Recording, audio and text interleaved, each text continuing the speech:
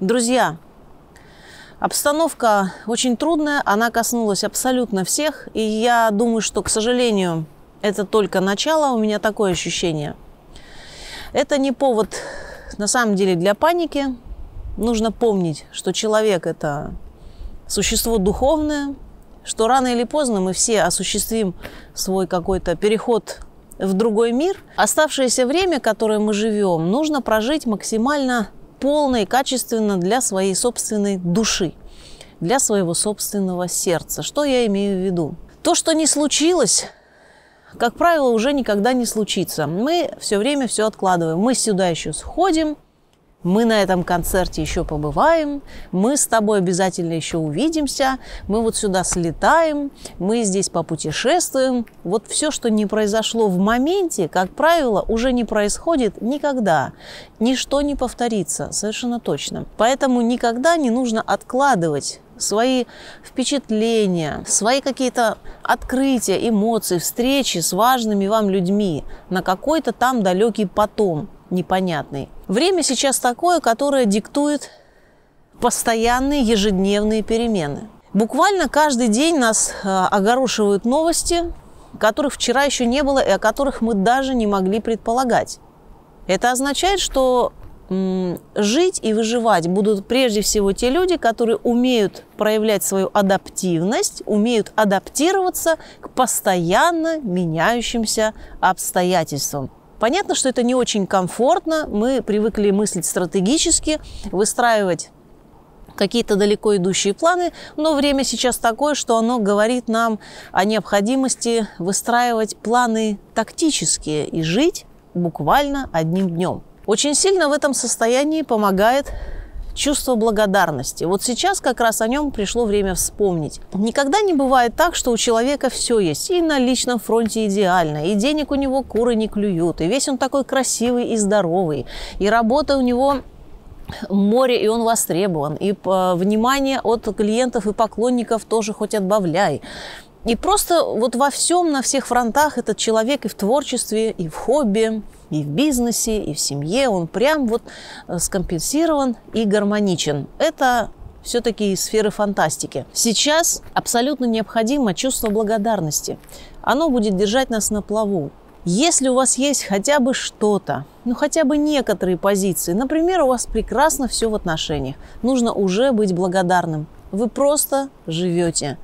И понимаете, это тоже достойно благодарности. У вас есть кусок хлеба на столе, или вкусный чай, или вас сегодня утром навестил друг. Это чудо. И только когда мы этого лишаемся, мы начинаем думать, ах, как было хорошо, как было замечательно. Вот нужно не потом, как было хорошо, а в том моменте, когда у нас еще что-то есть. И война показывает нам, насколько это действительно важно, ценно и как сиюминутно вся наша так называемая стабильность. Вот пока у нас что-то есть, нужно наполнять свое внутреннее состояние чувством благодарности. И это чувство оздоравливает, уменьшает тревоги, снижает нашу преддепрессивную настроенность. Каким образом немного снизить фон тревоги? Или существенно его ослабить? Вы знаете, нужно меньше смотреть новости. Сократите просмотр новостей негативных до 5 минут в день. Или смотрите их через день, или раз в три дня. И главное, что когда вы смотрите, постарайтесь смотреть холодным разумом. Не пропускайте эту боль через свое сердце, потому что помочь вы все равно не сможете тем, что вы мучаетесь, а себя будете разрушать. Состав крови очень портится у человека от негативных новостей. Нам хороших новостей всем не хватает. Мы ждем этих хороших новостей. Мы хотим, чтобы нам сообщили что-то доброе о родственниках, о событиях в нашей стране, о событиях в мире, в мире науки, в мире литературы, в мире творчества, в мире музыки. Мы этого ждем, мы этого хотим. И позитивные новости нужно создавать самостоятельно. Сейчас время, когда пора проявлять бережливость, бережливое отношение не только к посторонним людям, но и к самим себе. И если вы нещадно эксплуатировали себя, жгли свое здоровье, неправильно питались, вот самое время чуть-чуть остановиться, двигаться более размеренно, более спокойно, отсечь все ненужные контакты, заблокировать всех, кто вас разрушает, отключить различные уведомления, потому что у человека очень много входящей информации, входящих сообщений, рекламы, смс звонков. Человек под постоянным прессингом внешних обращений к нему. И мы так мало времени уделяем тому, чтобы обратиться, собственно, к самим себе. А сейчас время, когда нужно обращаться именно к своему внутреннему человеку. Я очень прошу всю свою аудиторию, где бы вы ни находились, на Украине, в Украине сейчас говорят, в России, вы знаете, уже на каждое слово внимание обращаешь из-за этого хейта дурацкого.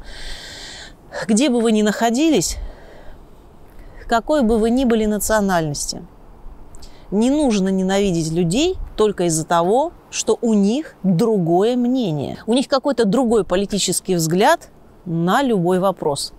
Если вы в другой партии или вы верите в другие идеалы, это не значит, что другой человек не имеет права верить в свои идеалы или заблуждаться. Дайте человеку право заблуждаться. И не нужно тратить силы на то, чтобы писать гадостные комментарии. Это ж сколько у человека должно быть сил, чтобы писать все то, что люди написывают по 30, по 40 строк э, под, не знаю, там различными видео достаточно порой нейтрального характера. И вот иногда я такие комментарии читаю и думаю, да откуда же у вас время, силы, где вы взяли интернет, свет, доступ э, к YouTube-каналу, что сидите и написываете, как все плохо и ужасно. А тогда откуда у вас эти прекрасные условия, чтобы сидеть и написывать? Может, все не так ужасно, как вы пытаетесь изобразить?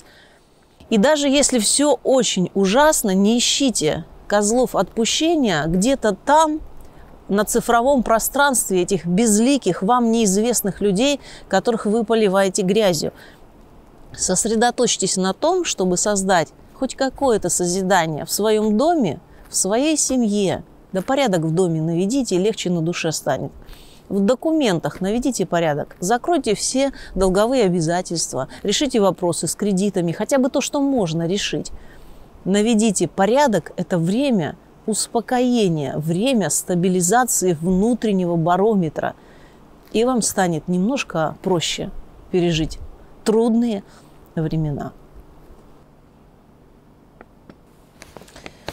Что не сделал сразу, не сделаешь никогда. Никогда.